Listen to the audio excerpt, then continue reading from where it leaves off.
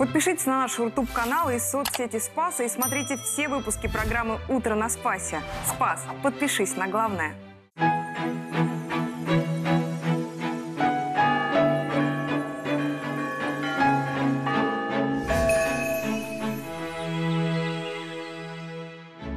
Доброе утро! Сегодня 7 февраля, друзья, вторник. Церковь молитвенно чтит память святителя Григория Богослова. В эфире «Утро на Спасе». С Богом, друзья, в новый день. Совместима ли наука и вера в Бога? Как устроен домовый храм Тимирязевской академии? Богослов, проповедник, ближайший сподвижник святого патриарха Тихона. Как выпускник МГУ стал священномучеником и покровителем Воронежа. Православная вера в Австралии. Чем наполнена жизнь жены священника на краю света? И что породило глубокую связь между святым праведным Яном Кронштадтским и императорской семьей? Обо всем этом мы поговорим в начале нового дня. В эфире программа «Утро на Спасе». Все прощает Бог кающимся и молящимся, говорил преподобный Нил Сорский. Утро на спасе просыпается вместе с вами, чтобы наполнить этот день смыслом. Давайте начнем это утро со слов Святого Евангелия. Отрывок из 13 главы Евангелия от Марка. Прочтем вместе с народным артистом России Алексеем Гуськовым. Когда же увидите мерзость запустения, реченную пророком Даниилом, стоящую где не должно – читающий да разумеет, тогда находящиеся в Иудее добегут в горы, а кто на кровле, тот не сходи в дом и не входи взять что-нибудь из своего дома, и кто на поле, не обращайся назад взять свою одежду. Горе беременным и питающим сосами в те дни. Молитесь, чтобы не случилось бегство ваше зимою. Ибо в те дни будет такая скорбь, какой не было от начала творения, которое сотворил Бог, даже до ныне и не будет. И если бы Господь не сократил тех дней, то не спаслась бы никакая плоть, но ради избранных, которых Он избрал, сократил те дни. Тогда, если кто вам скажет, вот, здесь Христос, или вот, там, не верьте, ибо восстанут лжехристы и лжепророки и дадут знамения и чудеса, чтобы прельстить, если возможно, и избранных. Вы же берегитесь. Вот, я наперед сказал вам все. Мы слышали сейчас э, отрывок евангельский, где Христос говорит пророчество о кончине этого мира, там страшные слова. Э, и действительно, он говорит, что если бы вот эти дни не сократились, то вообще не было бы никого спасающегося. Э, потому что, понятное дело, что окончание человеческого рода, человеческой цивилизации будет связано с какими-то ну, страшными катастрофами. Причем эм, в том числе это связано с развитием прогресса. Никогда церковь не выступала против прогресса. Это очень хорошо развиваются технологии, развивается медицина. Никогда церковь не была против развития медицины. Это очень, наоборот, хорошо, что люди могут жить дольше. И что есть лекарства от страшных заболеваний. Вот сейчас прямо прорыв инноваций в плане лечения рака. И я думаю, что большинство верующих людей прямо с энтузиазмом воспримут э, возможность людям помочь, которые заболевают, потому что сейчас достаточно много таких больных. Я вот среди моих прихожан, которых я собору посещаю, я, многие как раз болеют э, страшным заболеванием. Поэтому прогресс — это хорошо, но всегда необходимо нравственное осмысление прогресса. Если прогресс идет без осмысления, если нет оглядки на этику, то очень быстро все выйдет к тому, что просто сам человеческий род сам себя уничтожит. И Христос говорит об этом мерзости и запустении, которое придет на нашу землю. И в первую очередь это начинается с человеческой души, с самого человека. То есть когда человек расчеловечивается. У нас очень многие люди хотят стать христианами или какими-то духовными людьми, не став даже просто человечными. И когда мы говорим о роботизации, о развитии искусственного интеллекта или о каких-то таких вещах, вроде все это нужно и правильно, но вот Святейший Патриарх э, Кирилл на последнем собрании Московского духовенства, он обратил на это э, внимание только пристальное. И, кстати, в парламенте он, э, там законодательная инициатива была тоже связана с тем, чтобы ни в коем случае не ушла вот эта история инноваций, развития технологий вперед этики всегда этика, она немножко притормаживает, конечно. Потому что мы знаем, как ученые иногда делали страшные эксперименты, не только неэтичные, а просто откровенно преступные. Я там даже не говорю про животных. Но там на людях были эксперименты. И иногда, что понятно, чтобы побыстрее что-то протестировать, попробовать, но просто не считались с человеческой жизнью, с человеческой судьбой. Поэтому всегда нужно, э, чтобы часть общества, здоровая часть общества, сохраняла именно этические принципы, религиозные принципы. И э, чтобы э, развитие технологическое не привело к тому, что человечество просто само себя уничтожит. Но мы знаем все равно, что мир рано или поздно придет к своему окончанию. Единственное, что если мы не хотим помочь тому, чтобы этот мир рухнул, то мы можем всегда отсрочить каким образом, умножая веру и любовь в этом мире если мы будем своими источниками веры и любви, то вот эти страшные дни, они отодвинутся подальше. И если мы детей и внуков научим, то еще дальше. Это Значит, точно, батюшка. Мне очень понравились ваши слова о том, что многие люди, стремясь к духовности, а, не начинают с того, чтобы стать просто человечными. Как часто мы а, слышим такие истории, даже если на личном опыте, что когда человек заходит в храм, его кто-то начинает обсуждать, что он как-то не так одет, как-то не так выглядит, как-то не так себя повел или не той рукой свечку поставил. А ведь важно, что человек пришел в храм. Это значит, у него есть такое истинное а, душевное стремление к познанию Господа, и это уже хорошо, это уже похвально. Спасибо вам еще раз, ну а мы продолжаем. А сейчас давайте вместе с Дарьей Поли посетим Тимирязевскую академию и узнаем, как устроен домовый храм этого университета. Домовый храм Тимирязевской академии был освящен в 2009 году в честь священномученика Иоанна Артобалевского, бывшего профессора кафедры богословия и настоятеля храма святых первоверховных апостолов Петра и Павла. Он был выдающийся вообще человек, знал прекрасную историю. Он написал историю Петровско-Рузмовского поместья к 50-летию учебного заведения. Потом он очень много проводил кружки, молодежные кружки, беседы у них проводились разные. Там приходили многие преподаватели к нему, в частности, братья Вавиловы. Был членом Высшего церковного совета. У нас в алтаре имеется копия грамоты, которую святейший наш патриарх Тихон получил ему за участие в Высшем церковном совете, как раз по вопросам э, воспитания молодежи. После Октябрьской революции священник трижды подвергался арестам и тюремному заключению. 17 февраля 1938 года он принял мученическую кончину на Бутовском полигоне. В 2000 году юбилейный архиерейский собор Русской Православной Церкви причислил отца Иоанна Артобалевского к лику святых. Вот теперь он наш молитвенник, мы ему молимся. Уже больше 10 лет здесь совершаются службы. Служб у нас получается где-то около 280 в году. Стараемся почаще здесь служить. Отец Владимир подчеркивает, этот вузовский храм – один из немногих, посвященных преподавателю.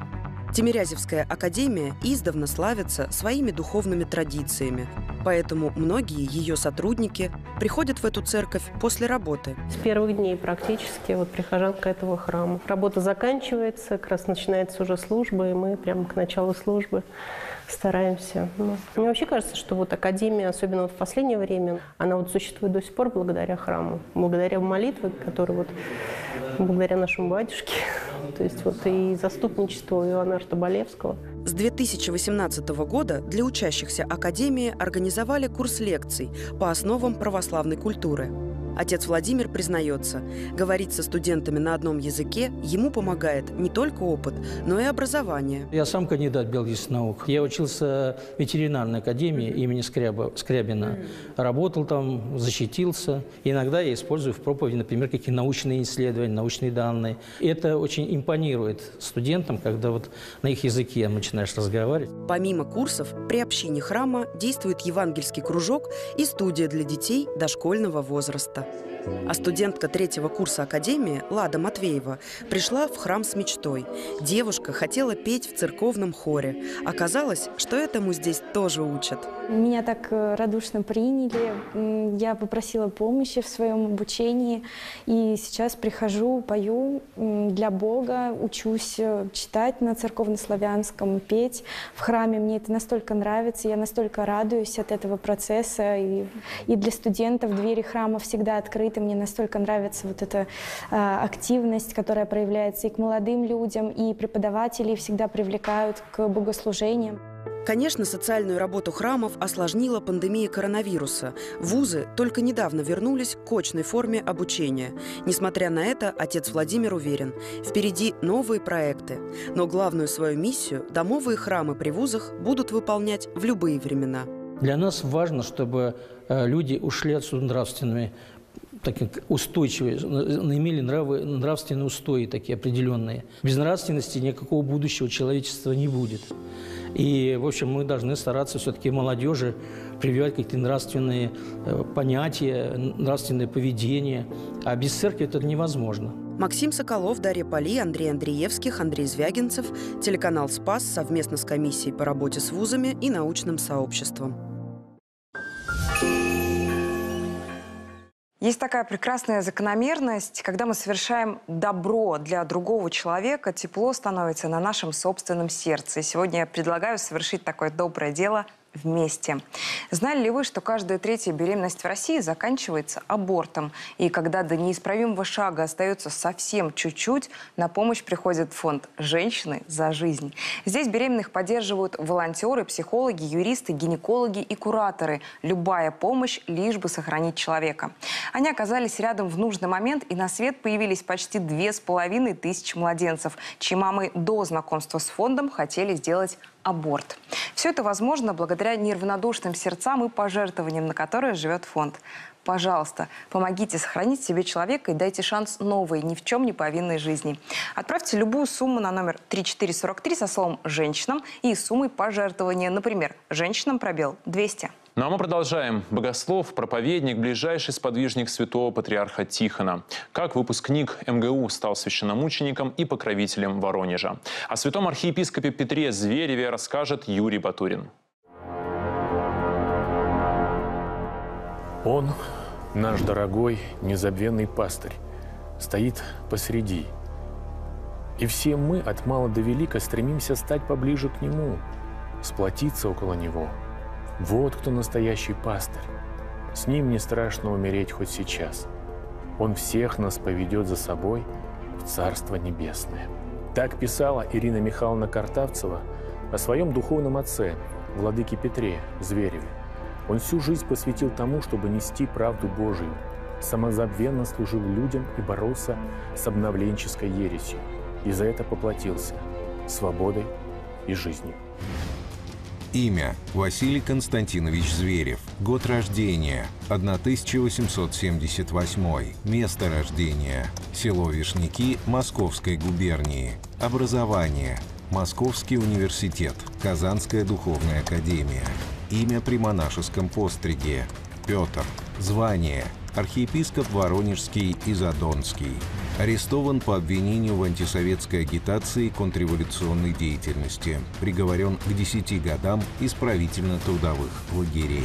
В 1922 году нашу страну, истерзанную революцией и гражданской войной, постигла еще одна беда. Начался обновленческий раскол, инициированный большевиками для уничтожения церкви.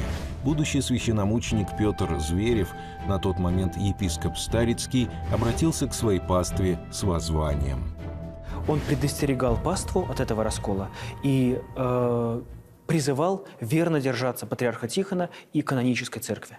Э, это и послужило во многом причиной гонений на него, но при этом помогло сохранить паству святителя Петра в верности православию. Власти текст обращения к публикации не допустили, объяснив решение тем, что владыка Петр якобы натравливает одну часть духовенства и верующих на другую. Его приговорили к двум годам ссылки в Туркестан. Условия жизни в лагере были суровыми. Епископ тяжело заболел цингой, но сумел выжить и после освобождения был назначен на Воронежскую кафедру, а также возведен в сан архиепископа.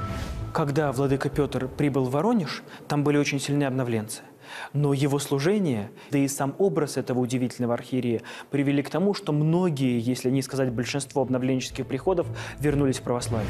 Деятельность архиепископа Петра, народная любовь к нему не могли не вызвать ярости у раскольников и властей. Владыки стали поступать письма с угрозами, но он не оставлял своего служения. Архипастыря арестовали, приговорили к десяти годам и отправили в Соловецкий лагерь особого назначения – Здесь будущего священномученика ожидали новые испытания. Этот замечательный архипастырь был на Соловках внутри лагеря, репрессирован за то, что крестил в водах э, Святого озера Истонку. Лагерное начальство ссылает епископа Петра э, на остров Фанзер, где тогда э, находился изолятор для заключенных больных тифом. Находясь в одном бараке с тифозными заключенными, не заразиться было невозможно. Владыка смертельно заболел. Будучи сыном священника, Василий Зверев с детства любил играть в церковную службу. Вместе с отцом ходил в храм, торопился к началу богослужения. Однако покладистым характером не отличался. Он очень часто дрался. Но однажды мальчику приснился сон, который изменил его. Во сне он видит, что он э, сидит на коленях у Христа, а под столом большая собака. И Христос берет его руку, дает собаке, говорит, ешь ее, она дерется. Э, проснувшись, будущий владыка, э, с одной стороны, очень испугался, с другой стороны, понял, что нужно как-то изменить свое поведение. В 1899 году Василий начал учебу в Казанской духовной академии. В январе 1900-го ее ректор, епископ Антоний Храповицкий, постриг юношу в монахи том же году он был рукоположен в иеромонаха. Некоторое время священник служил при Московском генерал-губернаторском доме и был духовником великой княгини Елизаветы Федоровны. А в 1906 назначен инспектором Новгородской духовной семинарии. Активный и образованный батюшка понравился не всем. Это становится понятным, когда вспоминаешь, какая была обстановка в семинариях в то время. Э, семинарии очень часто воспитывали не ревностных пастырей, а будущих революционеров. Э, человек, ревностно отдающий себя служению Богу, плюс старающийся о дисциплине в семинарии, э, мог быть неприятен и неудобен. Владыка сменил не одно место служения. Был и настоятелем монастырей, и фронтовым священником. Где бы он ни трудился, везде обретал народную любовь и уважение. Бывал и в окопах на передовой, и в лазарете среди умирающих. Одному из арестов епископа Петра подвергли в 1921 году. Но и в камере он не переставал проповедовать. А когда владыку уводили из бутырской тюрьмы, с ним прощалась вся камера. Многие плакали. Его двери были всегда открыты для тех, кто нуждался в совете и утешении, но были у него недоброжелатели. Когда владыка Петр э, был викарием Нижегородской епархии, э, у него были очень тяжелые отношения с правящим архиереем, архиепископом Евдокимом. Э, владыка Петр пытался наладить эти отношения и как-то раз пришел к своему правящему архиерею, поклонился ему и сказал «Христос посреди нас». Архиепископ Евдоким ответил ему жуткую фразу «И нет, и не будет». Архипастырь нередко оказывался один на один с суровой реальностью, возлагая упование только на Господа в ситуации, когда вокруг множилось число предателей и приспособленцев. И Бог не оставлял его, подавая силы, чтобы пройти до конца крестный путь и стяжать мученический венец. Архиепископ Петр скончался в лагере Атифа 7 февраля 1929 года. Сначала его тело бросили в общую могилу, доверху заполненную умершими – но заключенные добились разрешения на отпевание и перезахоронение. В руки архиерея вложили крест, четки и Евангелие. Панихиду по нему совершали три священника. Один из них позже рассказывал, что когда могилу зарыли, над ней засиял столб света, а в нем появился владыка и всех благословил. Мощи священномученика были обретены в 1999 году, а в 2000 его причислили к лику новомучеников.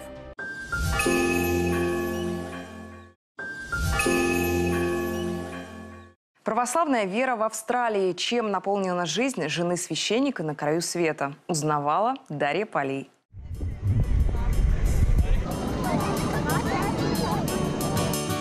Угадать по этим кадрам страну, где живет семья православного священника Иерея Александра Парамонова, несложно. Это Австралия. Хотя со своей будущей супругой Лией он познакомился 11 лет назад у себя на родине. Путешествовал а, в России с, с православной молодежи. И как раз мы были в Петербурге. После этой встречи я там познакомился с Лией. Она не хотела приехать в Истаю, но в это время, когда надо было венчаться и потом жениться, мне было послушание в храме как регента, я просто не, не смог эм, бросить этого прихода. Приходилось переубеждать ее, чтобы сюда приехать. Был очень хит, хит, хитрый момент, применен хитрый трюк.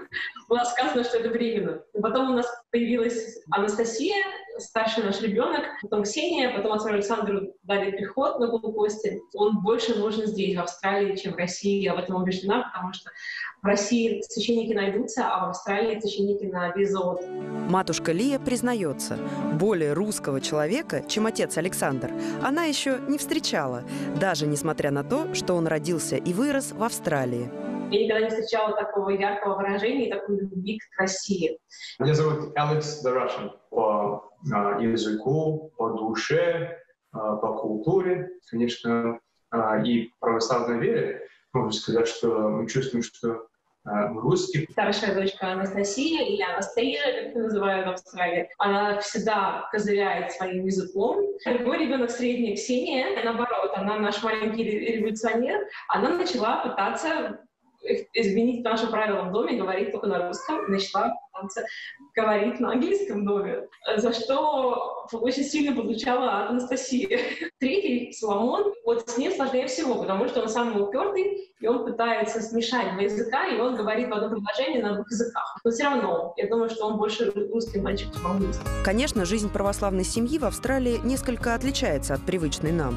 Дело не только в жарком климате или в океане неподалеку от дома, и даже не в том, что тут можно запросто покормить кенгуру в парке. Главное отличие заключается в обязанностях, которые ложатся на всю семью священника. Я думаю, что основное отличие — это в количестве людей. В Австралии приходы все маленькие, отношения между прихожанами очень тесные, такие семейные, все спокойнее и без всякого а, возвеличивания. Вот. И тут, тут можно не бояться, что ты зазнаешься. Как очень мало прихожан, очень, очень мало помощников на приходе, и часто некоторые вещи приходится делать а, самим. Порой батюшка и батюшка на все руки мастер от клироса до алтаря, до трапезной. В большинстве случаев матушки работают. Так же, как, как и батюшки работают. Например, матушка в Австралии может красить ногти, там, не знаю, краситься, потому что если она на такой должности, где нужно за собой следить и, и выглядеть, соответственно, то, пожалуйста, изволь, что у меня еще, еще есть светская работа помимо храма.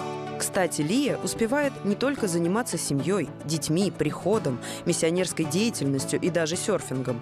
Она ведет свой блог, рассказывает о жизни православной семьи за рубежом и о том, как же живется матушке в Австралии. На своем примере, в своем блоге я хочу показать, что можно одновременно быть современным, идти ногу со временем, быть активным участником общества, строить карьеру, воспитывать детей, и при этом быть глубоко верующим, чтобы люди не пугались православия, чтобы люди не боялись прийти в православие, потому что там скучно, там зашоренные черные платочки, и там строгость, и нельзя смеяться. Несмотря на все различия в стиле жизни, обязанностях и даже характерах матушек из абсолютно разных городов и стран, отец Александр уверен, что одно качество их объединяет. Любовь, э, нежность. Матушка – это большая помощница батюшки, и много что батюшка может делать, это из-за того, что матушка его поддерживает. Матушка Лия э, такая, что меня поддерживает. Конечно, я с ней советуюсь, э, когда надо, и она очень активно, счастлива, что так случилось, э, слава Богу. Я не представляю по-другому на самом деле. Я вижу, что почти все, что я встречалась в своей жизни, оно было направлено на то, чтобы поставить меня именно в Австралии, именно женой священника. Так что, в принципе, я, я прямо вижу, как это было промыслительно Господом сделано, поэтому я не представляю себе другую судьбу. Дарья Поли, Андрей Звягинцев, телеканал «Спас». Обо всем самом важном на сегодняшний день мы узнаем из короткой сводки новостей.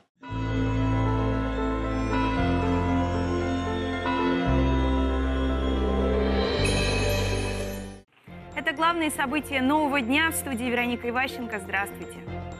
Сербский патриарх Порфирий, завершая визит в Соединенные Штаты, возглавил литургию в Кафедральном соборе Восточноамериканской епархии Сербской Православной Церкви в храме Святого Саввы на Манхэттене. Богослужение здесь состоялось впервые после семилетнего перерыва. В 2016 году храм пострадал при пожаре и сейчас постепенно восстанавливается. Департамент строительства выдал специальное разрешение на проведение богослужения и присутствие на нем до 200 прихожан. Именно в этом соборе в 1800 1956 году прошла первая православная литургия в США. Патриарх Порфирий сообщил, что богослужение в храме продолжится, а разрешение властей будет продлеваться. В ходе своего визита сербский патриарх посетил монастырь, Новую Граченицу и богословский факультет в Либертивилле, соборный храм Святого Воскресения Христова и Академию имени Святого Саввы в Чикаго, а также принял участие в гуманитарном вечере в Шеревилле. Собор Борисоглебского монастыря в Торжке, находящийся на реставрации, впервые с 1931 года откроют для посетителей. Это произойдет 10 февраля, в день памяти преподобного Ефрема Новоторжского. Желающие смогут увидеть внутреннее убранство собора, а также сохранившиеся уникальные фрески, написанные известным художником Российской императорской академии поручиком Владимиром Боровиковским в 90-е годы XVIII века. Храм был построен по проекту архитектора Николая Львова на месте месте старой церкви. При начале строительства присутствовала императрица Екатерина II, лично заложившая первый краеугольный камень. В 1931 году собор был закрыт, его внутреннее убранство утрачено. Собор входит в архитектурный ансамбль Новоторжского Борисоглебского монастыря, который был основан преподобным Ефремом в 1038 году. Верующие Томской епархии собрали около миллиона рублей для православной общины Пакистана. Благотворительный сбор стартовал в октябре прошлого года. Средства предназначены для помощи при строительстве храма в городе Исламабад, где несет служение выпускник Томской духовной семинарии Иерей Павел Анджум. Сейчас батюшка-настоятель Петропавловского прихода в его родном городе Лахоре. Первый православный храм в столице Исламской республики Пакистан будет посвящен Рождеству Пресвятой Богородицы. Землю для его строительства строительство община купила на средства, собранные прихожанами Томской епархии и православными верующими в социальных сетях. Иерей Павел и православная община Исламабада выразили свою искреннюю благодарность всем прихожанам Томской епархии и всем тем, кто помогает верующим Пакистана. Это были главные события нового дня. До встречи. Ну а теперь давайте послушаем отрывок из второй главы второго соборного послания апостола Петра, который прочтет для нас заслуженный артист России Андрей Мерзликин. А наипаче тех, которые идут вслед скверных похоти плоти, презирают начальство, дерзкие, своевольны, и не страшатся злословить высших, тогда как и ангелы, превосходя их крепостью и силою, не произносят на них пред Господом укоризненного суда. Они как бессловесные животные, водимые природой. Рожденные на уловление истребление, злословят то, чего не понимают, в растлении своем истребятся.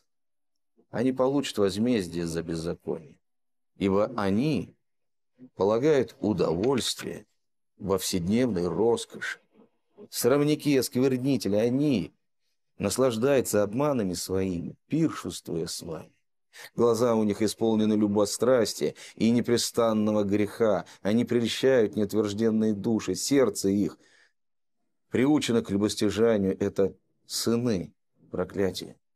Оставив прямой путь, они заблудились, идя по следам Валаама, сына Васарова, который возлюбил мзду неправедную, но был облечен в своем беззаконии. Бессловесная ослица, проговорив человеческим голосом, остановило безумие пророка. Это безводные источники, облака и мглы, гонимой бурью. Им приготовлен мрак вечной тьмы, ибо, произнося надутое пустословие, они уловляют в плотские похоти и разврат тех, которые едва отстали от находящихся в заблуждении. Обещает им свободу, будучи сами рабы тления, ибо кто кем побежден, тот тому и раб. Ибо если, избегнув скверн мира через познание Господа и Спасителя нашего Иисуса Христа, опять запутываются в них и побеждаются ими, то последнее бывает для таковых хуже первого. Лучше бы им не познать пути правды, нежели познав возвратиться назад от преданной им святой заповеди. Но с ними случается по верной пословице. Пес возвращается в свою блевотину, и вымытая свинья идет валяться в грязи. В древности существовала такая поговорка, что вымытая свинья обязательно возвращается в грязь и вываливается в ней. Сколько ты ее не мыл, э, она везде уже найдет. И апостол Петр э, приводит как раз эм, э, этот образ, говоря о людях, которые вроде узнали Христа и даже что-то, какие-то шаги сделали, но потом настолько не прельстились, настолько в них сильно вот это развращение прежней жизни, что они возвращаются обратно, вот как та самая свинюшка, и впадают в грехи даже худшие. И он говорил, лучше бы этим людям даже и не начинать духовную жизнь, потому что они подвергнутся большему осуждению. Но самое страшное, что эти люди, говорят, еще начинают учить и соблазнять других христиан. И, и вот, знаете, в этом плане очень важно, когда люди говорят, что, ну, я вот там э, провел какую-то часть э, жизни в грехе, э, ну, вот я потом покаюсь когда-нибудь, да, вот сейчас молодость, такая вот жизнь резвая, веселая, такая разгульная. Вот, и мне даже, я помню, одна женщина сказала, что вот что вы, батюшка, так рано, значит, поженились, не успели нагуляться. Mm-hmm. То есть в обществе это достаточно сильно э, такой стереотип, что вот юность, она должна быть именно такой разгульной. А потом уже можно покаяться, все-все-все. Но люди не понимают, насколько сильны вот эти сети э, греха, насколько тяжело отойти потом от грешной жизни и реабилитироваться, особенно если ты впал в какие-то зависимости, то вот я просто знаю, у меня ходят на исповедь люди, которые, например, отошли от зависимости, от, алко- от алкогольной, и там ну, не употребляют, там, допустим, 5 лет как им иногда тяжело. Пять лет они не употребляют, им до ну, он говорит, я не могу пройти мимо магазина, там стоят на полках вот эти бутылки, и у меня прямо мука. Представляете? И вот э, как свинюшку тоже тянет. И поэтому, если есть возможность не впадать, не, выра- не выращивать вот эти страшные э, страсти в своем, э, своем сердце, то, конечно, э, а то потом думают, ничего, потом срублю. Да не срубишь ты их так легко и будет все время тебя тянуть обратно. Поэтому чем чище э, человек блюз себя с молодости, тем легче ему будет потом житься. Э, как в известном произведении Александра Сергеевича, что «береги честь с молоду». Это же очень важные тон, э, слова. Э, они направлены в первую очередь на самого человека, что некоторые думают, ну, от церкви лишь бы запретить, да эти старые, они только понудеть. Это совет практический для того, чтобы человеку было легче жить потом. И многие люди, вот я знаю просто, как люди иногда скорбят, что в молодости вот как раз нагулялись. И вспоминают просто ну, со стыдом, и ничего кроме муки у них это не вызывает. Некоторые думают, о, приятное воспоминание, как грехи молодости. Но никого это неприятное воспоминание, наоборот. И еще это и тянет, и периодически помыслы мучают даже у человека, которому уже 70 лет или 80 лет. Поэтому если есть возможность, а у каждого есть такая возможность с помощью Божией беречь себя в чистоте, то да, не надо к этому относиться с пренебрежением. И блажен, кто с молоду был молод, и кто юность свою сберег в чистоте, и потом тебе просто по жизни будет легче. Прекрасные слова. Спасибо большое, батюшка. Ну а мы сейчас прервемся на короткую паузу. Оставайтесь с нами, ведь впереди еще много интересного.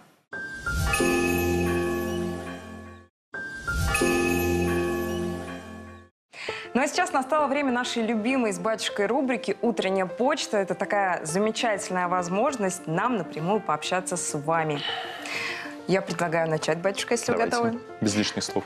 Да, первый вопрос у нас от Валерии. Существует стереотип, что смириться, принять что-либо, значит отпустить руки и не пытаться преодолеть беду. Как объяснить тем, кто так думает, что это отнюдь не так? Что такое смириться? Смириться – это с миром принять ситуацию. Mm-hmm. То положение, та э, история, которая происходит, особенно если ты не можешь на нее повлиять, да, или как-то помен... изменить. Вот сейчас очень многие столкнулись с теми непростыми событиями, которые происходят, и многие начали возмущаться сердцем, унывать, впадать в панику, в страх, в уныние и так далее. Э, а что такое смирение? Это не значит сказать, а, все нормально ой, все, мне все равно вообще на, на то, что да. происходит. А сказать, Господи, мне тяжело, мне страшно, но я принимаю Твою волю. Я понимаю, что эти обстоятельства, к сожалению, и мне нужны тоже. И через них я могу что-то там осознать, как-то проявить себя по-христиански и так далее. Поэтому с миром принять ситуацию и смириться это вовсе не значит опустить руки. Наоборот, я принял с миром ситуацию, дальше продолжаю работать. То есть, что от меня требуется, что я могу сделать. Например, вот в данной ситуации я не могу поехать на фронт или не могу взять там э, с каким-то политиком поговорить, чтобы он поменял свое э, значит, мнение по тому или иному поводу, там э, в Америку поехать, значит, с президентом там чьи погонять. Но я могу повести сына в школу, по дороге с ним поговорить, э, чтобы он рассказал о своих проблемах. Я могу жене подарить подарок. Я могу с соседями, э, значит, э, взять, убрать подъезд.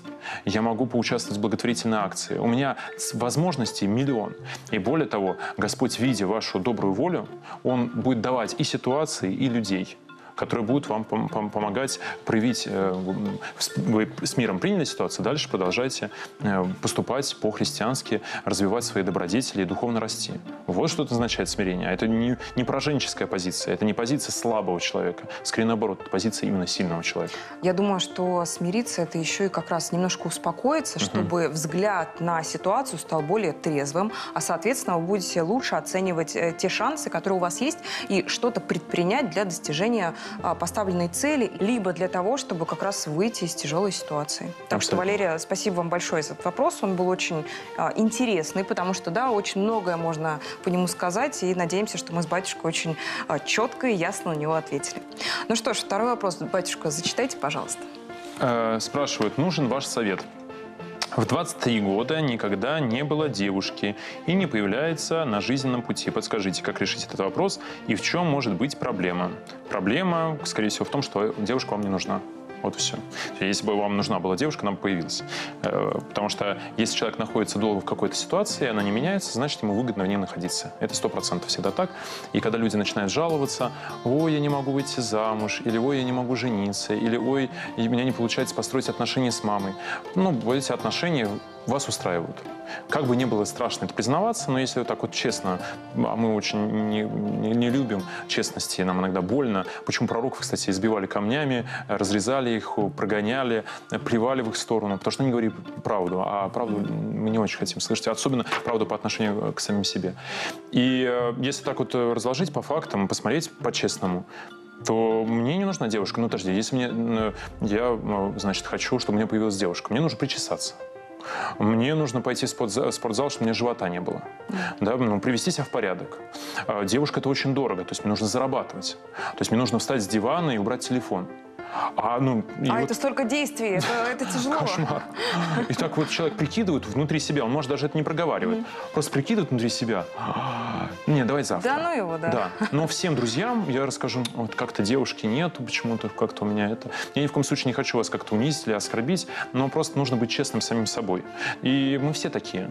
То есть, если мы в какой-то ситуации находимся, вот я, например, э, очень долго рассказывал, что вот я хотел бы получить образование, но вот это времени не хватает, обстоятельств. Ну, времени, чтобы потупить в телефон, хватает, а, значит, на самообразование не хватает. Но это же обман.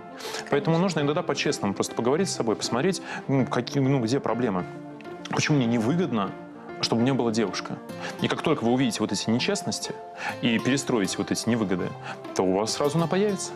И вообще вот это выражение, что и не появляется на жизненном пути. Ну, постойте, вам 23 года, вы молодой человек, вы сто процентов ходите хотя бы в продуктовый магазин за хлебом. Ну, или вы ходите, в принципе, из дома, вы же, наверное, учитесь или уже работаете где-то. В любом случае у вас есть какие-то знакомые друзья.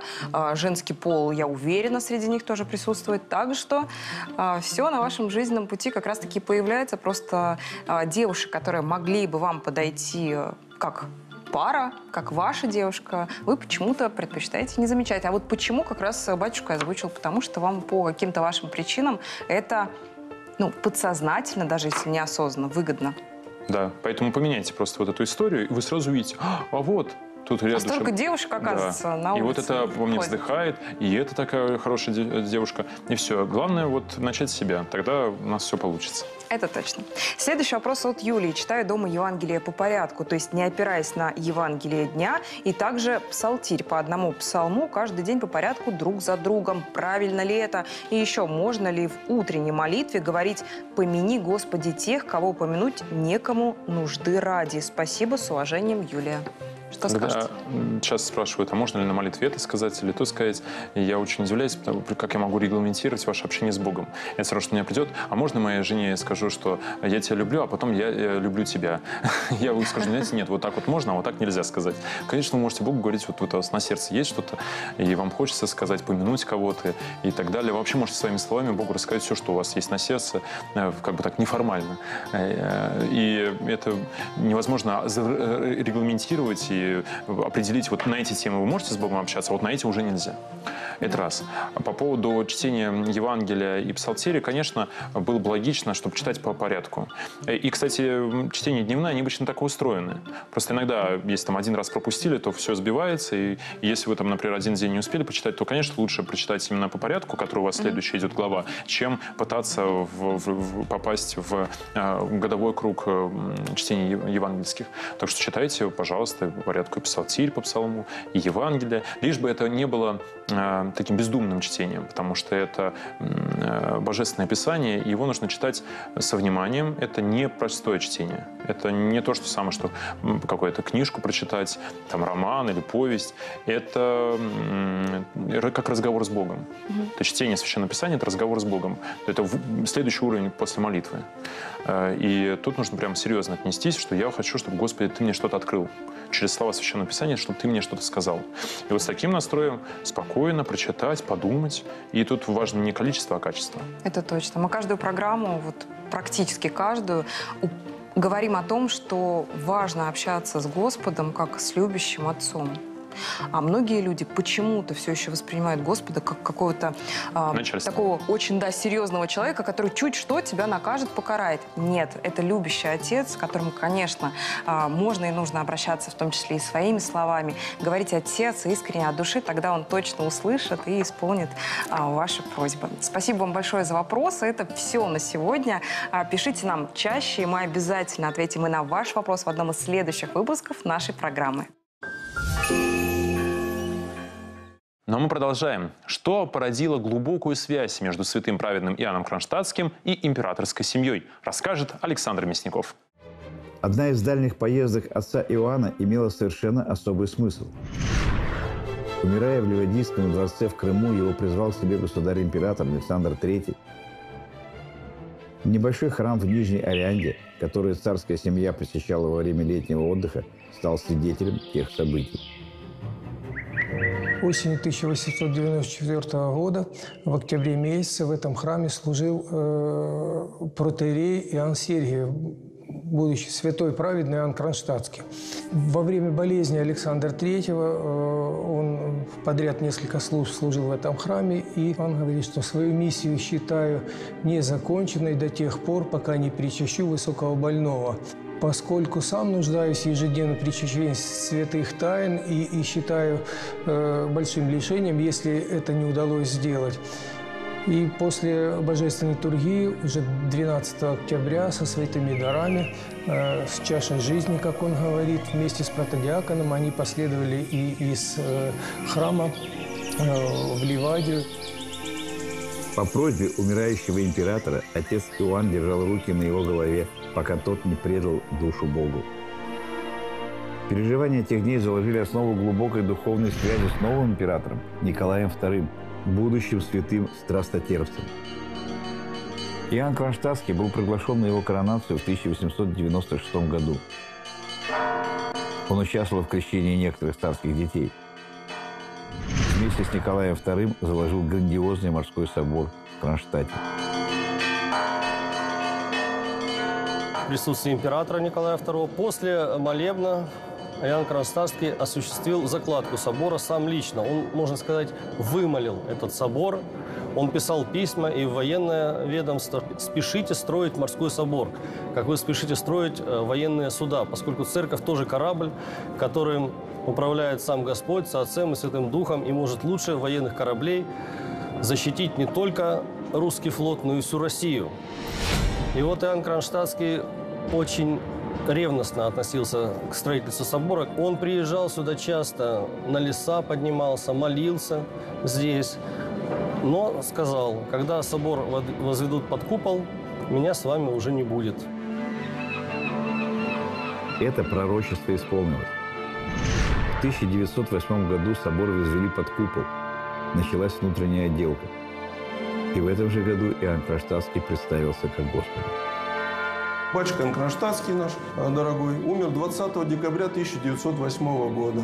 Последнее время он уже, э, значит, даже не мог уже есть ничего. Известно, что приходил священник в последние годы, причащал его кровью Христовой, то есть батюшка причащался в последние дни ежедневно. Вот. Когда он умер, конечно, это была большая, большая трагедия для всех православных христиан.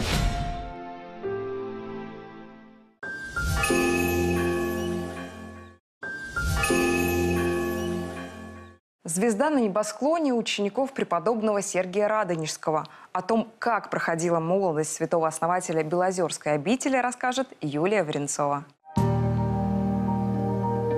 Преподобный Кирилл Белозерский, москвич казначей, который стал монахом, искал уединения, нашел его на севере и открыл для всей Руси этот живописный край Белозерье.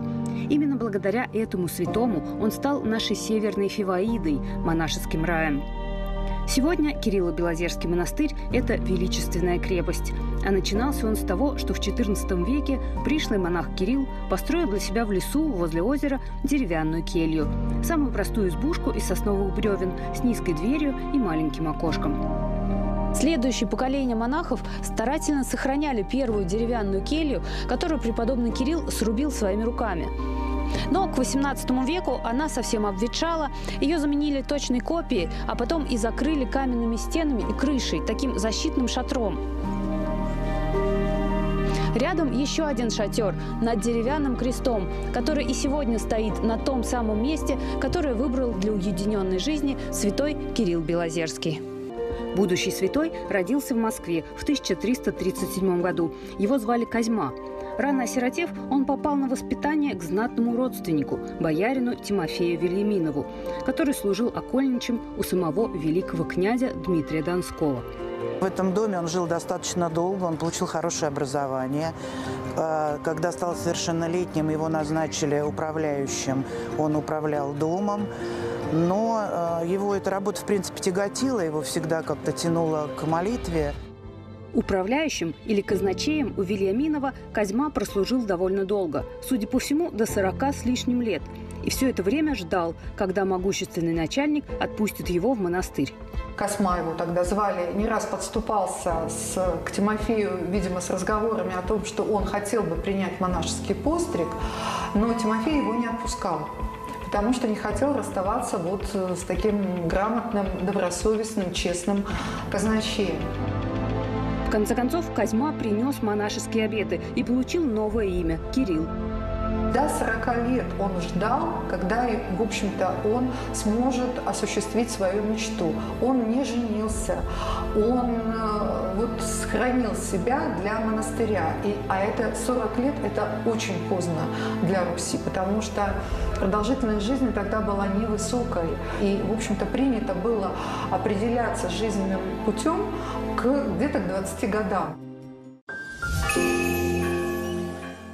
Друзья, к этому часу в мире произошло уже много интересного. Давайте вместе посмотрим короткую сводку и узнаем самые свежие новости к этому часу.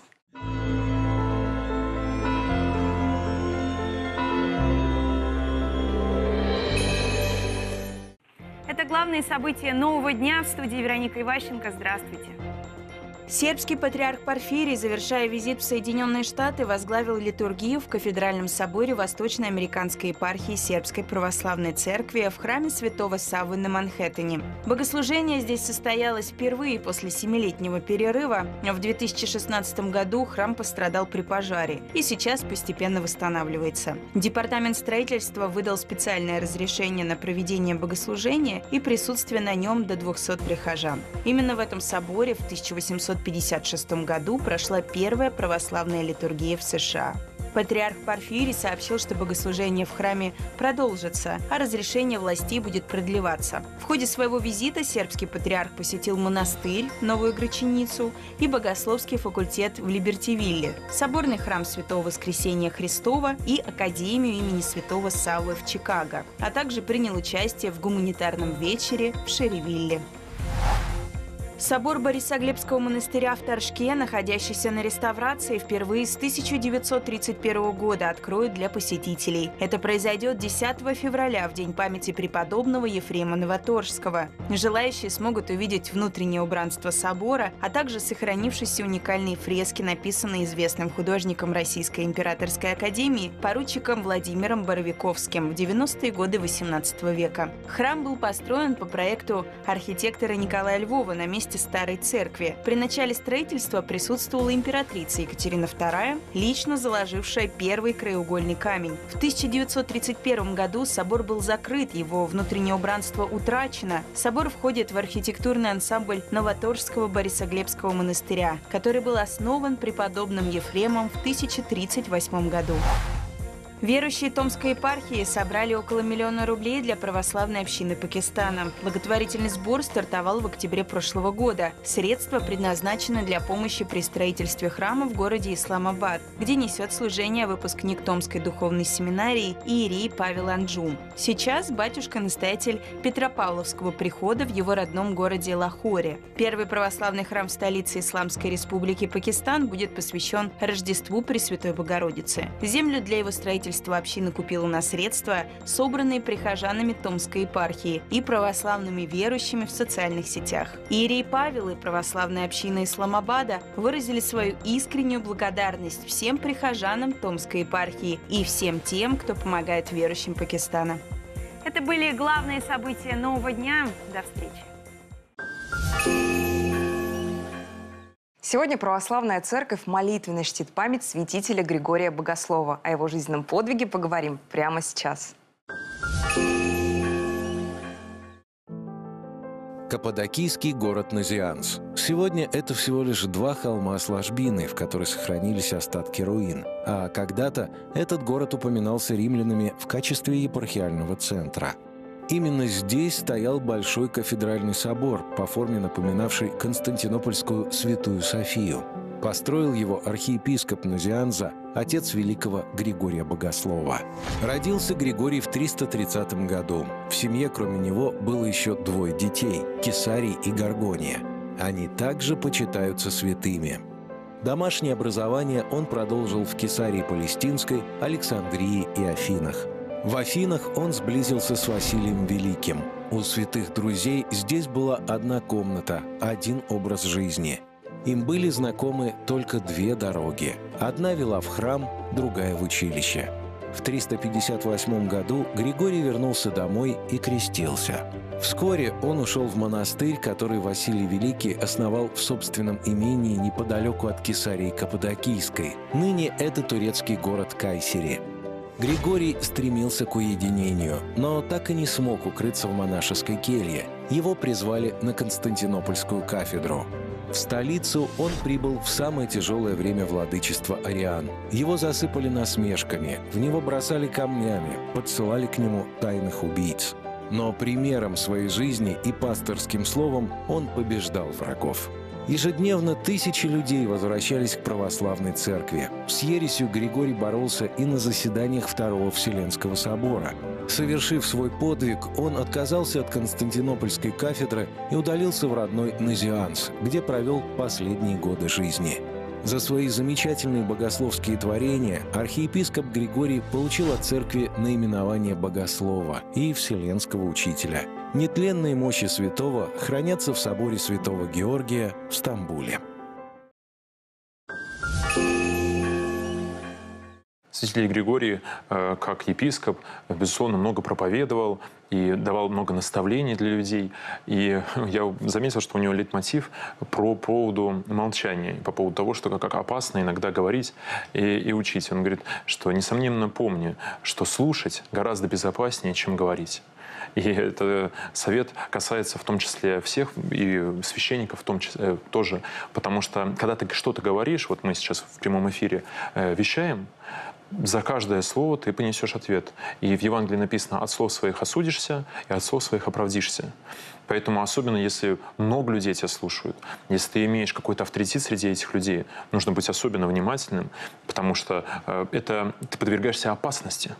Даже иногда не физическое, а в той опасности, например, что ты начнешь возносить себя настолько, что своим словам будешь придавать какой-то божественный характер, что некоторые люди не сомневаются в своих словах. Это очень опасный признак, и иногда послушаешь некоторых выступающих, риторов, в том числе иногда, к сожалению, богословов или даже священников, которые абсолютно без тени сомнений э, говорят слова. Я даже не говорю, что они там цитируют Священное Писание, мы действительно к этим словам относимся как к словам Бога, а свои какие-то измышления, свои размышления выдают как окончательную истину. И не возникает такое, а вдруг я могу ошибиться? И для человека, особенно который только возрастает, очень полезно иногда послушать. Я помню с период просто своей жизни, когда мне хотелось все время говорить. Я встречался с людьми, мне вот хотелось им высказать, чтобы они послушали. И я заметил, что чем старше становишься и мудрее, тем тебе больше интереснее послушать, чем сказать. То есть это уже какой-то житейский опыт, уже какая-то что-то в голове у тебя проясняется. И ты уже так думаешь, а может ничего не говорить? Я по первости, когда стал священником, помню, на исповеди, такой прямо говорил, пытался в чем-то убедить людей. Ну, молодой был, глупый. И все думал, что вот да, смогу что-то поменять. А в последнее время я понимаю, что вот человек готов что-то услышать или нет. И что, может быть, два слова сказанных гораздо лучше, чем 50. Э, потому что ты взвесил эти слова и сказал их, да, там, помолился Господу, что Он тебя открыл. Поэтому помните этот совет святителя Григория, который, вот он-то знал цену слова, он был великим богословом. И он сказал, гораздо безопаснее слушать, чем говорить. И часто слушать еще интереснее, потому что когда мы говорим, мы высказываем свою точку зрения. А когда мы слушаем собеседника, мы можем как раз чему-то новому научиться, что-то новое узнать. И это чаще интереснее. Расширить свой кругозор. Да, да. Спасибо большое, батюшка. Но мы продолжаем. И всех, кто назван в честь святителя Григория Богослова, преподобного Анатолия Оптинского, священномученика Владимира Богоявленского, митрополита Киевского, святителя Моисея, архиепископа Новгородского, мученика Виталия и священного священномученика Петра Зверева, архиепископа Воронежского, память которых сегодня празднуется, мы с батюшкой от души поздравляем с именинами. Многое благое лето, наши дорогие. Всего вам самого хорошего.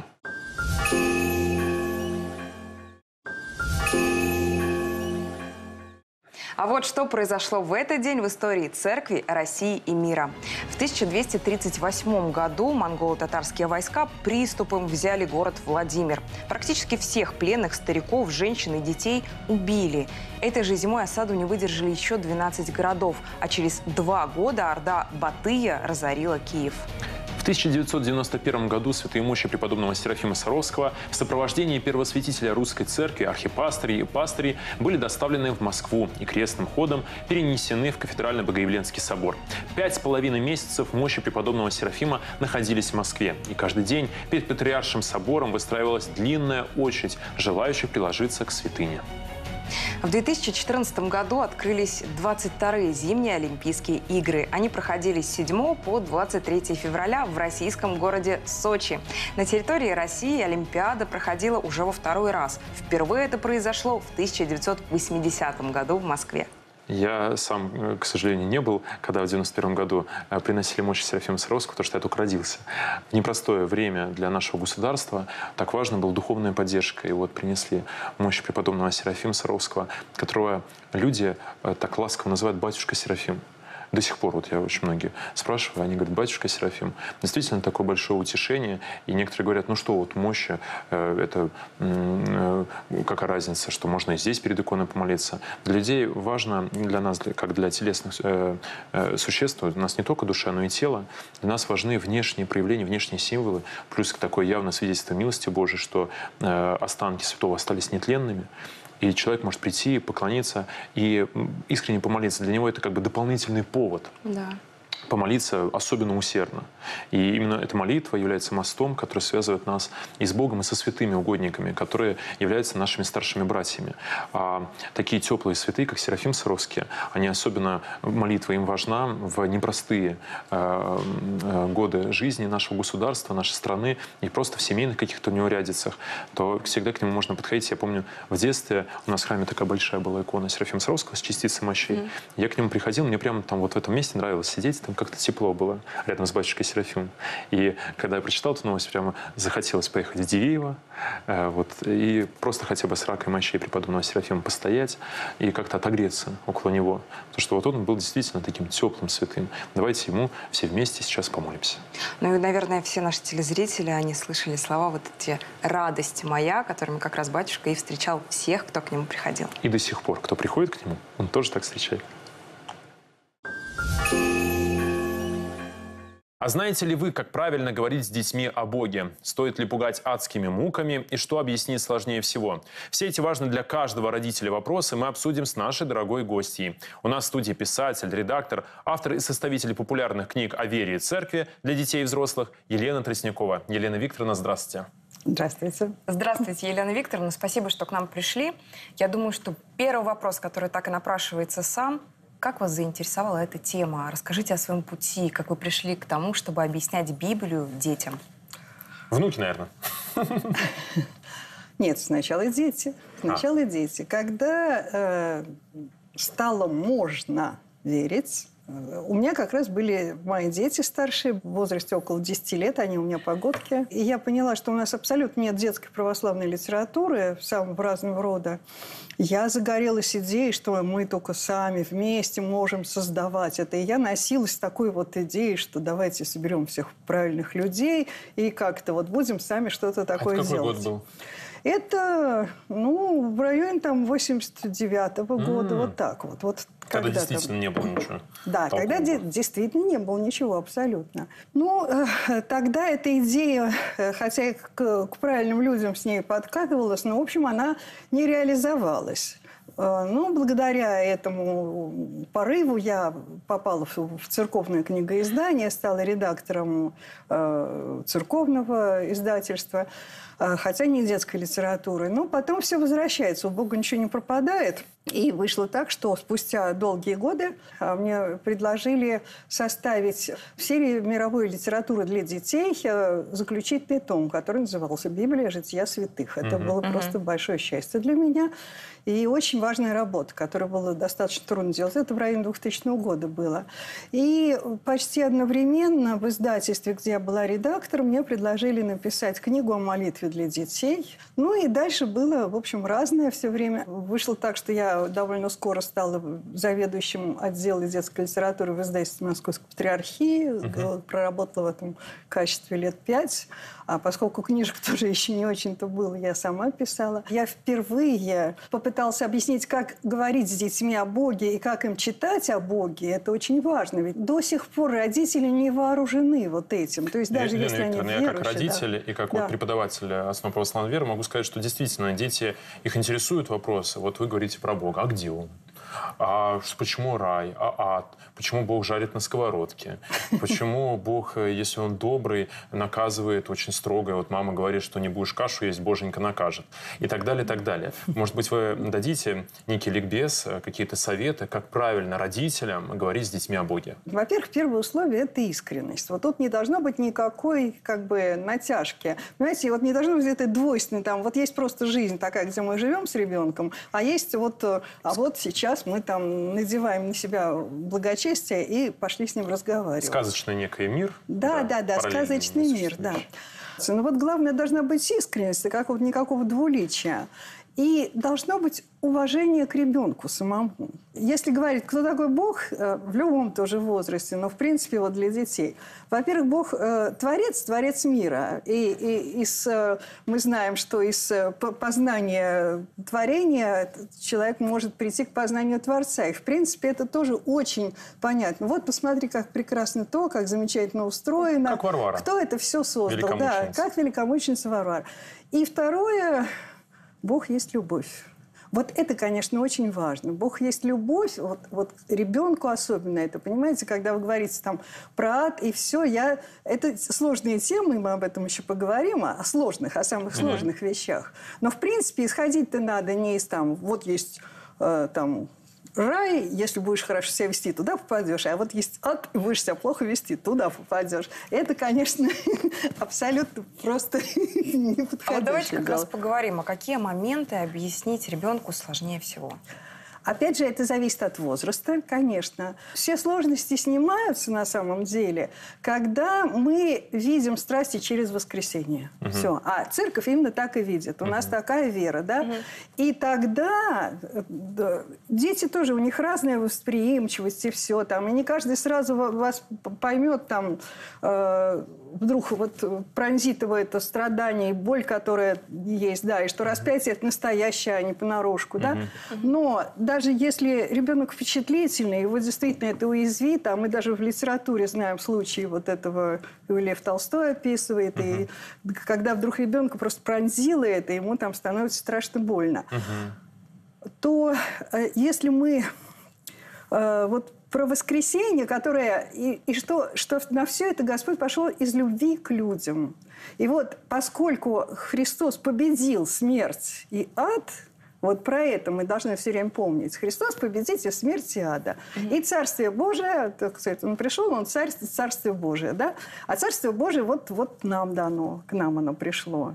Вот, собственно, ну, наша православная вера просто в понятиях близких ребенку о ней надо говорить, действительно. Елена Викторовна, Да. вот э, дайте, пожалуйста, совет родителям. Э, мне кажется, что иногда вот в педагогике важнейший принцип, как, как и в медицине, не навредить. Если даже у нас не всегда получается помочь ребенку, главное, не, от- не, от- не от- как Христос говорит, кто соблазнит того из малых сил, э, лучше там, что жернов ему на голову повесили и выкинули в море.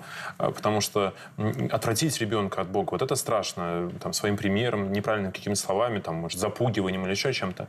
Скажите, пожалуйста, что э, в разговорах о Боге ни в коем случае не надо делать? Какие-то вот несколько, может, там, три вещи, которые не надо, э, ошибки педагогические, которые можно допустить и не надо их допускать. Вот скажите нашим А три родителям. вещи вы меня немножко озадачили, но попробую. Ну вот, во-первых, э, во-первых, акцентироваться на э, злом Боге, Да, которого на самом деле нет. да. нет Который должен помочь тебе заставить ребенка слушаться. Да, да, да. Это, это совершенно понятно.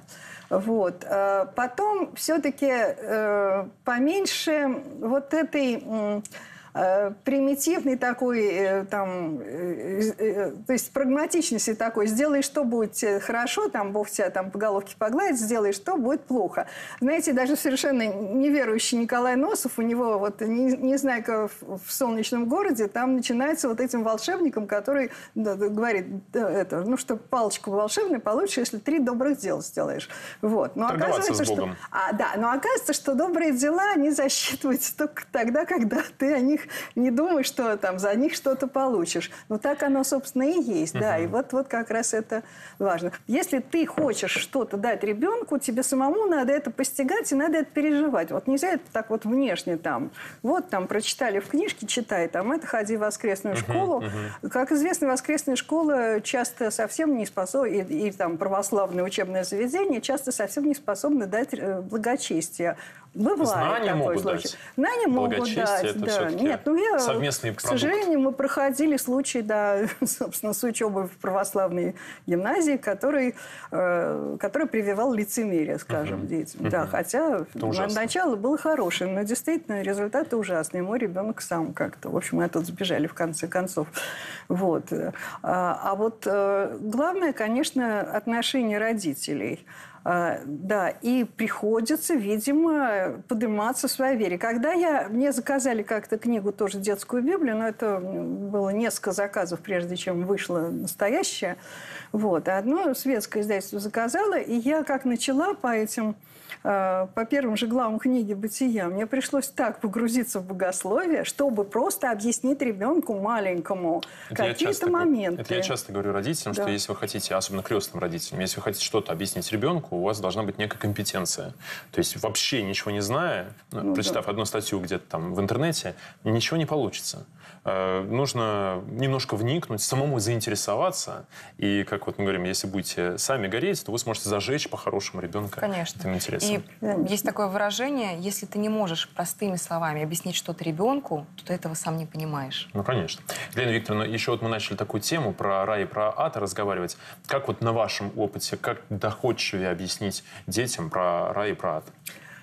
Ну, про рай, опять же, как-то достаточно просто, я бы сказала. Потому что, я не знаю, я каждое э, воскресенье, ну, и не только воскресенье, когда в, в храме хожу, вижу семьи с детьми. Угу. И я чувствую, что мы находимся в райском состоянии. Здесь любовь, здесь все, и ребенку это все близко и понятно. Как, ну, мама, конечно, как да, мама обнимает? Кон, да, как Помнишь? мама обнимает, да. Конечно, если дома там все собачатся и нет любви, то, то это будет, ну, так это вот и будет неискренность. Что касается ада, то, опять же, вот э, для меня вот э, как бы в отношении детей, вот только через то, что Христос победитель ада, да, что в принципе вот э, ну грехопадение, грех там, да, вот а, отрыв от Бога, это и есть ад на самом деле. Про сковородки сейчас уже слава богу давно не говорят, это такое старенькое понятие, да. Меня очень э, кстати, меня очень пугает такая тенденция в соцсетях, я замечаю все, что сейчас люди стали бросаться э, словами «гореть тебе в аду». Ну, это неверующие, конечно, люди, но вот раньше так не было распространено. И абсолютно вот как бы... Общем, иногда даже, даже и верующие люди, э, люди иногда там говорят про кого-то что-то. Вот. Это довольно чудовищное такое отношение. И как бы ад нужно преодолевать в себе, я бы сказала, и не поддаваться ему. Ну вот еще что важно. Вот, э, вот очень важно воспитывать в семье вообще э, возможность, умение говорить о главном, о серьезном, о каких-то действительно проблемах бытия, личности и все. К сожалению, э, этого часто нет в семьях, но это необходимо. И, в принципе, запрос должен исходить от ребенка все-таки. Запрос на разговор. Вот нельзя ему навязывать этот разговор. Как мне кажется, родителям подростков его особенно нужно подростков, особенно. Да. Особенно для того, чтобы услышать этот запрос, нужно захотеть. Нужно оторваться от своих дел. Надеемся, наши дорогие телезрители всегда будут находить время, чтобы поговорить с своими детьми о Боге. Спасибо Елена большое. Викторовна, спасибо вам огромное, что пришли и рассказали нам. Но я напомню, что с нами была писатель, редактор, автор и составитель популярных книг о вере и церкви для детей и взрослых Елена Тростникова. Дорогие друзья, давайте вместе прочтем молитву перед иконой Божьей Матери Владимирская. «О всемилостивая Госпожа Богородица, Небесная Царица, Всемощная Заступница, Непостыдное наше упование! Благодарим Тебя о всех благодеяниях российским людям от Тебе бывших, от древле и до днесь от чудотворной иконы Твоей явленных. И ныне, приблагая Владычице, призрена ны, грешная и недостойная рабы Твоя, яви нам милость Твою и моли Сына Твоего Христа Бога нашего, а еже избавитесь нам от всякого зла и сохранитесь всякому граду и весе и всей стране стране нашей от глада, губительства, труса, потопа, огня, меча, нашествия на племенник и междуусобные брани. И спроси всем, и же во власти суть, благоденственное и мирное житие, здравие, долгоденствие во всем благое поспешение и спасение. Сохрани и умудри пастырей церкви, еже достойно пасти стада Христова и право править все слово истины. Укрепись христолюбивое всероссийское воинство, подашь дух совета и разума военачальника военачальникам и градоначальникам, не спаси святое Твое благословение и всем православным христианам, поклоняющим Ти и молящимся пред цельбоносную Твою икону. Буди нам заступница и ходатайца пред престолом Всевышнего, и где же предстоишь? Кому уба прибегнем, аще не к Тебе, Владычица? Кому принесем слезы и воздыхания, аще не Тебе, Пресвятая Богородица? Не им бы иные помощи, не им мы иные надежды, разве Тебе, Небесная Царица? Под Твой кров притекаем, молитвами Твоими не спасли нам мир, здравие, земли плодоносия, воздуха благорастворения, избави нас от всяких бед и скорбей, от всяких недугов и болезней, болезни, от внезапной смерти и от всех озлоблений врагов, видимых и невидимых. Вразуми и научи о всемилостивой заступнице, как обезгрешно прийти путь земного сего жития. Ты веси немощи наши, веси и согрешения наши, но и веру веси и упование видишь. Тем же дару нам исправление греховной жизни и умягчи злые сердца наши. Укрепи в нас правую веру, вложи в сердца наши дух страха Божия, дух благочестия, дух смирения, смирения, терпения и любви, в добрых делях преспияния. Избави нас от искушений, от пагубных душевредных учений, от неверия, развращения и погибели вечной. Тебе оба просим, Пресвятая Владычица, и припадучи пред святою Твою икону, молимся, умилосердися на ны и помилуй ны, в страшный же день суда, ходатайством и заступлением Твоим, сподобены стать одесную Сына Твоего, Христа Бога нашего. Ему же подобает всякая слава, честь и поклонение с обезначальным Его Отцем и с Пресвятым и благим единосущным Его Духом, ныне и присно и во веки веков. Аминь. А это «Утро на Спасе». Сегодня 7 февраля, друзья, вторник. Церковь молитвенно чтит память святителя Григория Богослова. «Все прощает Бог кающимся и молящимся», говорил преподобный Нил Сорский. «Утро на Спасе» просыпается вместе с вами, чтобы наполнить этот день смыслом. С Богом в новый день, друзья! Вся команда программы «Утро на Спасе» желает вам отличного дня!